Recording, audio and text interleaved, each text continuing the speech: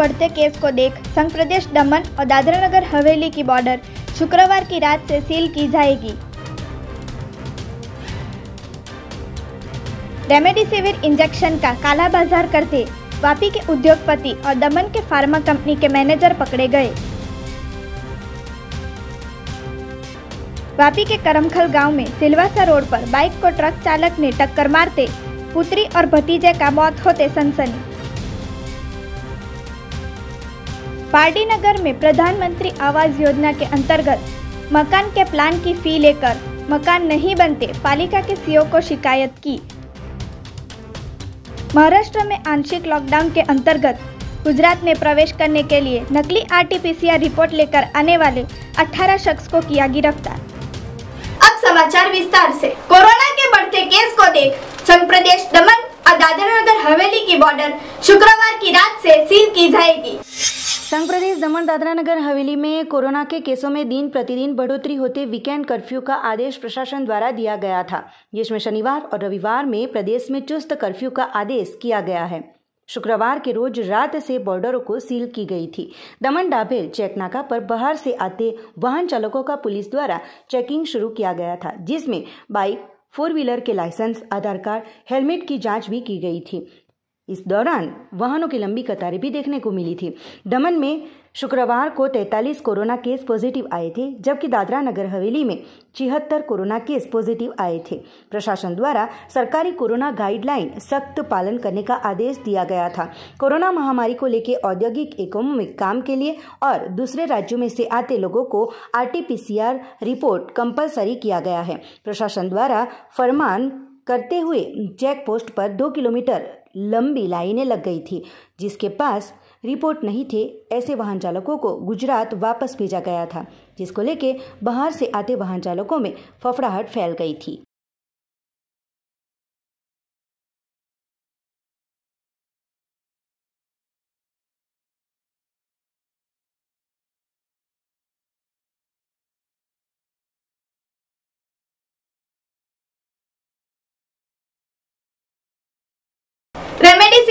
Injection का काला बाज़ार करते वापी के उद्योगपति और दमन के फार्मा कंपनी के मैनेजर पकड़े गए। एसओजी पीएसआई राणा ने नकली ग्राहक बन के जाल बिछाकर किया पर्दाफाश। दवाई के ज्ञान का कोई संबंध नहीं, ऐसे फर्नीचर के फैक्ट्री के उद्योगपति काला बाज़ार में शुरू करते आखिरकार जेल की हवा खा रहे हैं। दमन की फार्मा कंपनी के पास एक्सपोर्ट लाइसेंस है, जिसका मैनेजर ने इंजेक्शन के जत्थे का संग्रह करके रुपए 500 का इंजेक्शन रुपए बारह हज़ार में बेच रहे थे। नानी दमन के दिलीप नगर में अवंती के अपार्टमेंट में रहते और फर्नीचर की दुकान चलाते वरुण सुरेंद्र कुंद्रा काले बाज़ार में रेमडेसिविर इंजेक्शन बेच रहे होने की जानकारी के आधार पर एसओजी पीएसआई अमीराज सिंह राणे ने ग्राहक बनकर वरुण कुंद्रा को वापी जेडीसी स्थित यूपीएल ब्रिज के नीचे बुलाकर एक इंजेक्शन का बारह हज़ार के बारह इंजेक्शनों के एक लाख चवालीस हज़ार लेकर बारह इंजेक्शन देते ही पकड़ लिया गया था। आरोपी के जेब की जाँच करते छः और इंजेक्शन मिले थे। ये इंजेक्शन दमन की डाबेल की ब्रुक फार्मा कंपनी के पास से लिए होने का आरोपी ने बताते पुलिस ने ब्रुक फार्मा के टेक्निकल डायरेक्टर मनीष राम नारायण सिंह, निवासी जलाराम सोसाइटी चणोद कॉलोनी, वापी को गिरफ़्तार किया था। फार्मा कंपनी लाइसेंस से इंजेक्शन बनाती थी। एक्सपोर्ट बंद होते स्टॉक में जो थे, वो मनीष सिंह ने वरुण को बेचने के लिए दिए थे। इन इंजेक्शनों को इकट्ठा कर पाँच सौ रुपये के इंजेक्शन बारह हज़ार में बेचते थे। एसओजी पीएसआई राणा ने नकली ग्राहक बनकर रैकेट का पर्दाफाश किया था।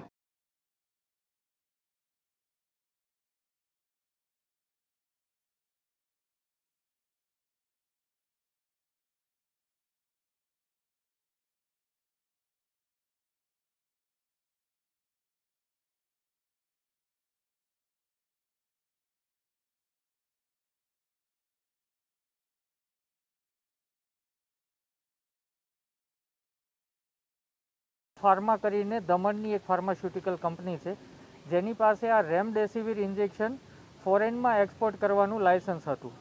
અને આ આ કંપની જે છે, એ, એનો મેનેજર મનીષ સિંઘ, એ ત્યાંથી માલ કાઢી અને આ વ્યક્તિને આપતો હતો અને આ વ્યક્તિ આ માલ બજારમાં વેચવાનું કામ કરતો હતો. તાત્કાલિક મનીષસિંહની પણ ધરપકડ કરવામાં આવી. એની પાસેથી પણ બીજા છ રેમડેસિવિર ઇન્જેક્શન એના ઘરે રાખી મૂક્યા હતા. એ પણ બરામદ થયા. મનીષસિંહ જે છે, એ મેનેજર છે. એક્સપોર્ટ કરવાનું જે લાયસન્સ હતું, તાજેતરમાં જ કેન્દ્ર સરકારે રેમડેસિવીરના એક્સપોર્ટ ઉપર પ્રતિબંધ મૂક્યો. એટલે એમની પાસે જે સ્ટોક હતો, એ સ્ટોક હવે એ ઇન્ડિયન માર્કેટમાં આપવાના છે. એનો લાભ લઈ અને આ મેનેજરે અમુક વાયલ બહાર કાઢી અને વેચવાનું ચાલુ કરેલું. આમાં ડિઝાસ્ટર મેનેજમેન્ટ એક્ટ લાગશે એપિડેમિક ડિઝીઝ એક્ટ લાગશે, આ ઉપરાંત આઈપીસીની પણ સેક્શન લાગશે ડ્રગ્સ અને કોસ્મેટિક એક્ટ અને એસેન્શિયલ સર્વિસીસ એક્ટ મુજબ કાર્યવાહી થશે. ફર્નિચરની દુકાન ધરાવતો વ્યક્તિ કે જેનો મેડિકલ સ્ટોર પણ નથી, તેવા વરુણ સુરેન્દ્ર કુંદ્રા. નાઓ બાર બાર હજાર રૂપિયામાં રેમડેસિવિર ઇન્જેક્શન વેચતા હતા. ત્યાં ગ્રાહક તરીકે બની અને જણાવેલ કે, ભાઈ, અમારે ઇન્જેક્શનની જરૂર છે. અને જણાવેલ કે, બાર હજાર લેખે એક વાયલ આપશું. એની પાસેથી બાર વાયલ મળી આવ્યા, જેની કિંમત એણે એક લાખ ચુમ્માલીસ હજાર જેવી કરેલી. આ વ્યક્તિ જે છે એ આ મહામારીમાં કાળાબજારીનો લાભ લઈ અને પૈસા બનાવવા માટે થઈ અને આ કૃત્ય કરતો હતો वापी के करमखल गांव में सिलवासा रोड पर बाइक को ट्रक चालक ने टक्कर मारते पुत्री और भतीजे का मौत होते सनसनी वापी तहसील के करमखल गाँव में सिलवासा से वाक्षीपा मार्ग पर शुक्रवार के रोज दोपहर को एक बाइक चालक अपनी पुत्री और भतीजी के साथ जा रहे थे। उस दौरान एक ट्रक चालक ने टक्कर मारते बाइक चालक प्रवीण भाई के साथ पीछे बैठे 12 वर्षीय पुत्री नेहा प्रवीण भाई पटेल और तीन साल के भतीजे प्रियांक राजेश भाई पटेल, निवासी नीमखल की मौत हुई थी। घटना के चलते आसपास के लोग इकट्ठा हो गए थे और पिता के सामने पुत्री के साथ भतीजे की मौत होते हृदयद्रावक दृश्य दिखाई दिए थे। घटना को लेकर स्थानिक लोगों में रोष फैल गया था। घटना में मृतक पुत्री और भतीजे को गोद में लेकर माता रुदन करते हृदय द्रावक दृश्य देख लोगों के रोंगटे खड़े हो गए थे।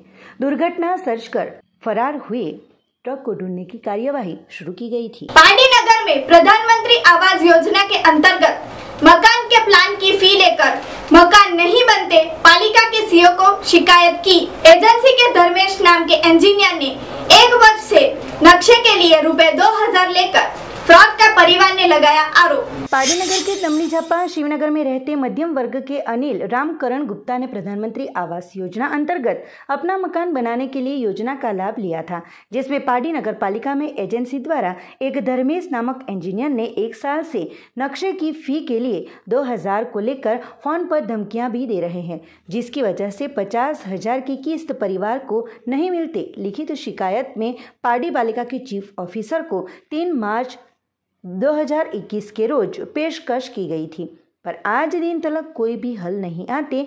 आखिरकार पार्टी पालिका के माजी सभ्य किट्टीभाई भंडारी को साथ में रखकर मीडिया समक्ष न्याय के लिए हमारी टीम के प्रतिनिधि उनके घर पहुँचे थे, जहाँ पर पूरा सत्य जानने का प्रयास किया था और पूरी हकीकत बाहर आते पालिका द्वारा ऐसे लेभागु इंजीनियरों के सामने कानूनी कार्यवाही करने की जाँच की जाए, वह ज़रूरी बन रहा है।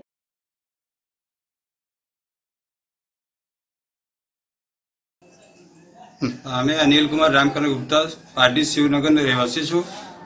મારો પ્રધાનમંત્રી આવાસ યોજના ઘર મળ્યું છે. તેને બધા હપ્તા આવી ગઈ છેલ્લા હપ્તા નથી આવતા છે.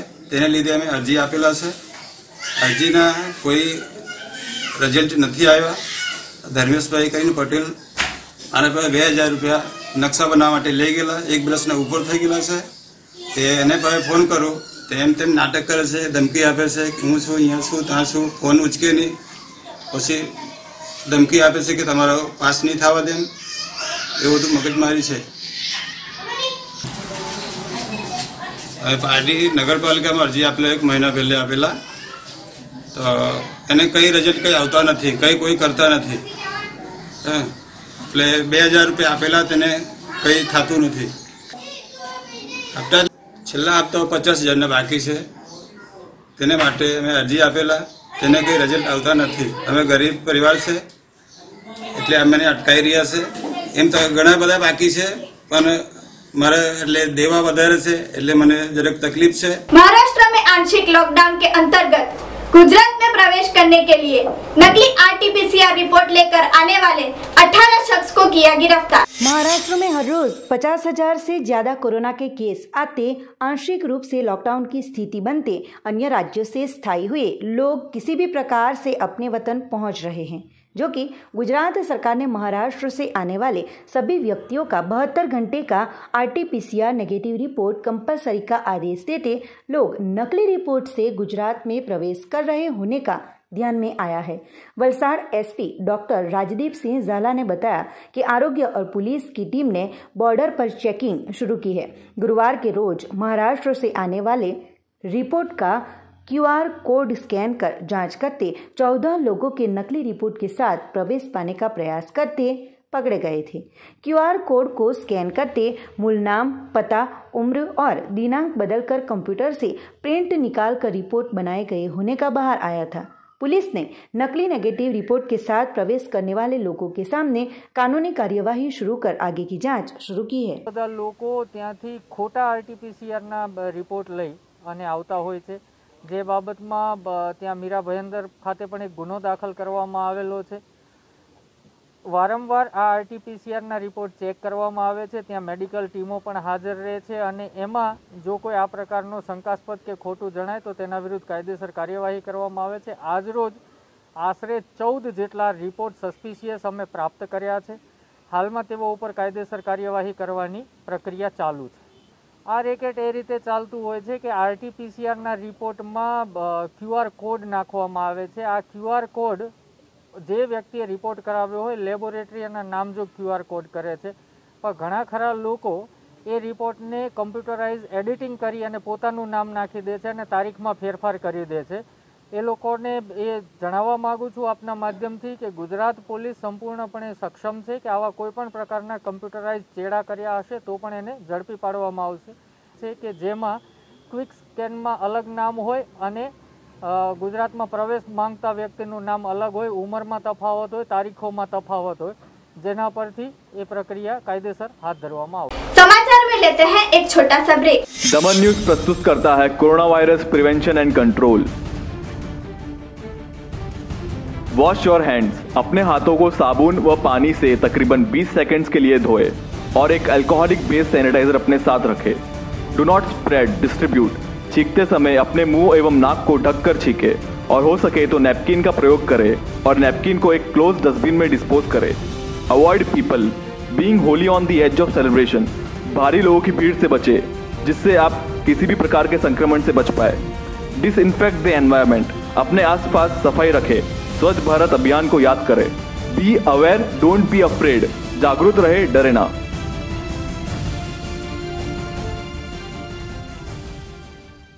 ब्रेक के बाद आपका स्वागत। है वापी विस्तार के आठ जितने पुलिस बूथ में कब्जे किए गए रुपए 8.36 करोड़ की शराब भिलाड़ में नष्ट की गई। पिछले लंबे समय से बलसाड़ जिला वापी विभाग में आते आठ पुलिस स्टेशनों में आए दमन, सिलवासा और अन्य राज्यों में से गैरकानूनी तरीके से लाए जाने वाले शराब के जत्थे को जिला पुलिस अधीक्षक की सूचना और मार्गदर्शन अंतर्गत विविध पुलिस थानों में पुलिस अधिकारियों द्वारा कब्जे में किया गया था। हाल ही में Pardi police, Vapi police, Dungra police, Vapi Udyognagar police थाना और उमरगांव पुलिस थानों में विदेशी शराब का जत्था आठ करोड़ छत्तीस लाख का हुआ था। जिसका नाश करने के लिए पुलिस विभाग द्वारा नामदार कोर्ट की मंजूरी पाकर शराब के जत्थे को नाश किया गया था।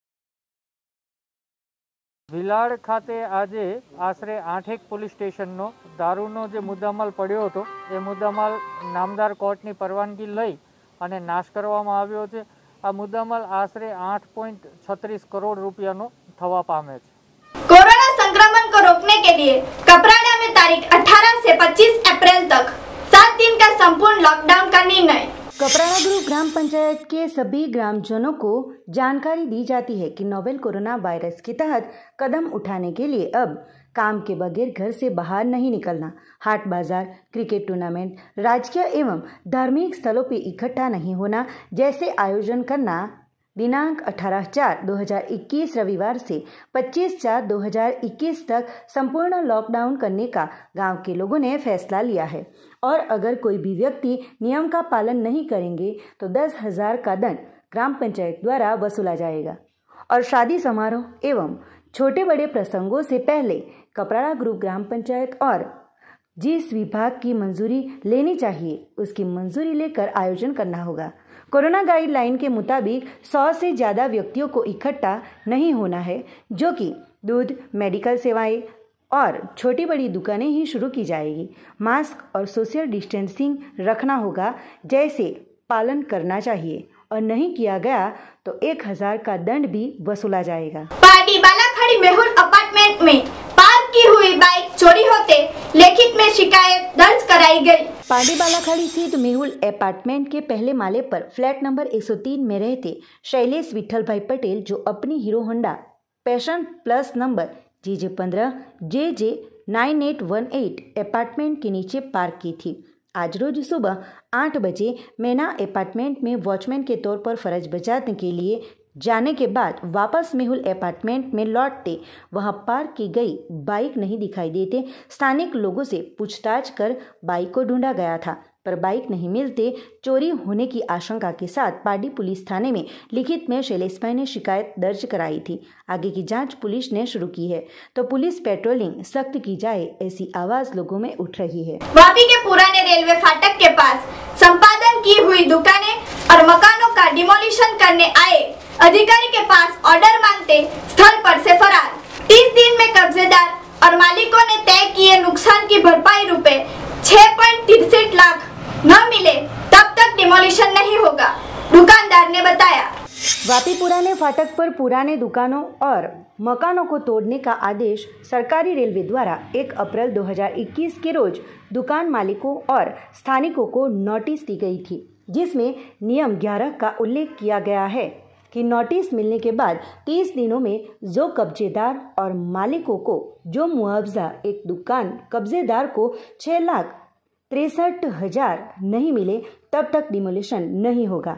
पर सरकारी अधिकारी कोई दास ने आकर 4 अप्रैल के रोज तोड़फोड़ करते अधिकारी के पास डिमोलिशन करने का ऑर्डर पेपर और आईडी मांगने पर अधिकारी वहाँ से चला गया था। और जो दुकान मालिक है, वो स्वैच्छिक तरीके से डिमोलिशन कर रहे हैं। कब्जेदार को न्याय नहीं मिलते, रेलवे द्वारा दिए गए नोटिसों के नियमों का सरकारी रेलवे अधिकारियों, कानूनी उल्लंघन कर रहे हैं।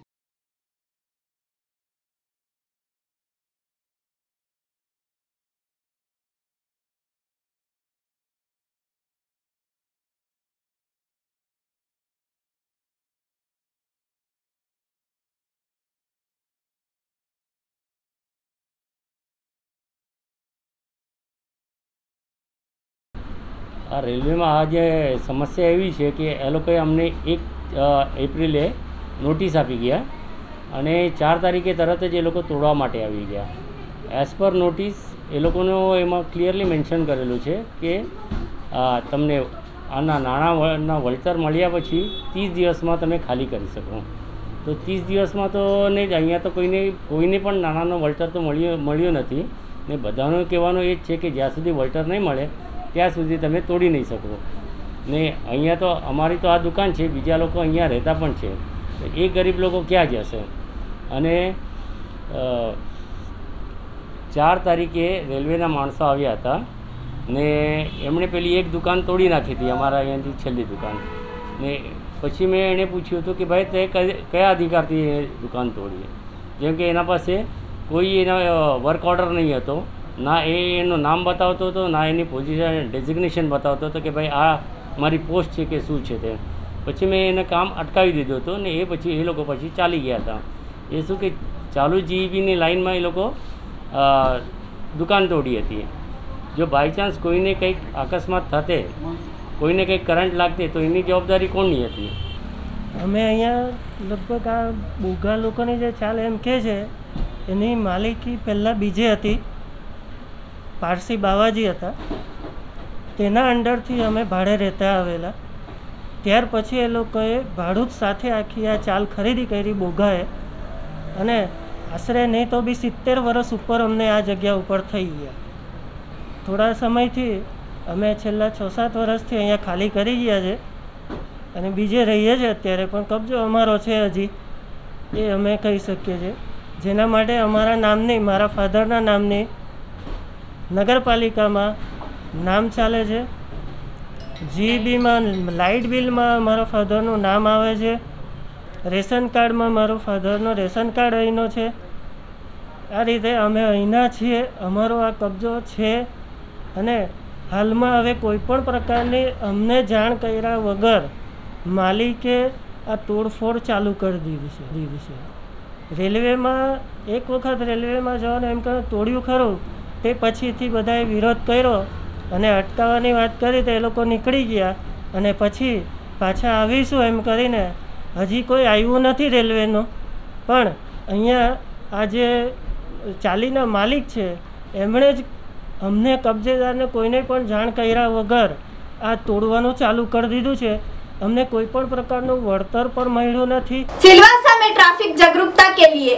आयोजित की गई प्रतियोगिता में विद्यार्थियों को एसपी के हाथों इनाम वितरण किया गया। संघ प्रदेश दादरा नगर हवेली, सिलवासा पुलिस हेडक्वार्टर में ट्रैफ़िक विभाग द्वारा रोड सेफ्टी सप्ताह अंतर्गत जन जागृति कार्यक्रम के तहत माध्यमिक स्कूल के बच्चों के लिए आयोजित ड्राइंग निबंध स्लोगन प्रतियोगिता में प्रथम क्रमांक प्राप्त करने वाले स्पर्धकों को सिलवासा पुलिस सुप्रिंटेंडेंट हरेश्वर स्वामी के हाथों इनाम वितरित किए गए थे। इस कार्यक्रम में प्रदेश के विविध स्कूलों के बच्चों ने हिस्सा लेकर ट्रैफ़िक सप्ताह के दौरान जन जागृति का संदेश प्रसारित करने में अपनी भागीदारी जताई थी।